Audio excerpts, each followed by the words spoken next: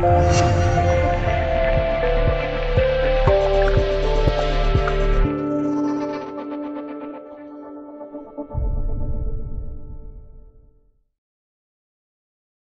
西甲转会窗关闭还有最后七天的时间，可对皇马主席弗洛伦蒂诺来说，今夏的引援工作已经结束。球队接下来的目标就是处理冗员。据零点电台透露，主帅洛佩特吉曾提出了引进新援的想法，但遭到了俱乐部的否决。而处在计划之外的卢宁、卢卡齐达内和劳尔德托马斯等人都会在转会窗关闭前离队。外媒截图不会再买新援了。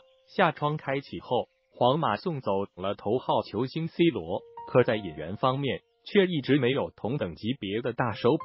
卢宁和罗德里戈名下才正式报道，更像是对未来的投资。奥德里、奥索拉和库尔图瓦都欠缺市场号召力。至于巴西小将维尼修斯，则仍在一队和预备队之间徘徊。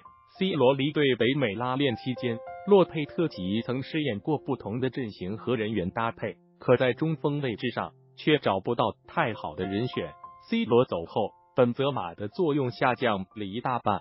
本泽马被 C 罗视为最好的搭档，而马约拉尔和德托马斯都无法起到战术支点的作用。穷则思变的洛佩特吉曾使用过伪中锋战术，让阿森西奥去客串九后卫，虽然效果还不错。但这不是皇马的长久之计。阿森西奥在此之前，洛佩特吉曾提出引进一名中锋和一名中场，用来顶替科瓦契奇，可没有得到俱乐部的积极反馈。眼看转会窗就要关闭，洛佩特吉主动降低了自己的标准，只要求再签下一名中锋。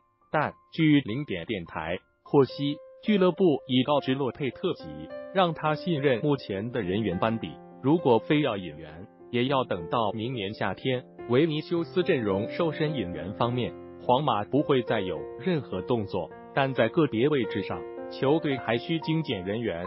在库尔图瓦加盟后，皇马一队已同时拥有五名门将。因为卡西利亚拒绝了塞维利亚的邀请，皇马就只能把卢宁和卢卡齐达内租借出去。据马卡报透露，包括巴列卡诺。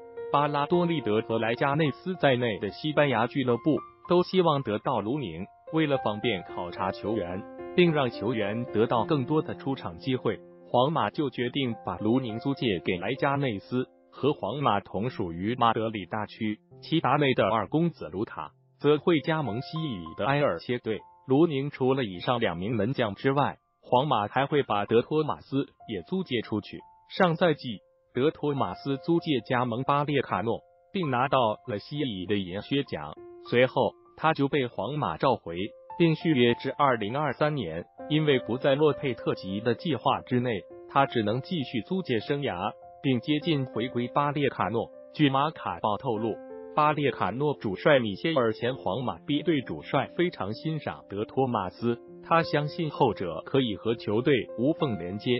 德托马斯首轮联赛迎战赫塔菲，马克斯略伦特落选了十九人的大名单。虽然西班牙人和比利亚雷亚尔都向他抛出了橄榄枝，但皇马没有放人的打算，除非略伦特像科瓦契奇一样公开表达离队意愿。至于马约拉尔和巴列霍正在养伤，也不太可能在下窗离队。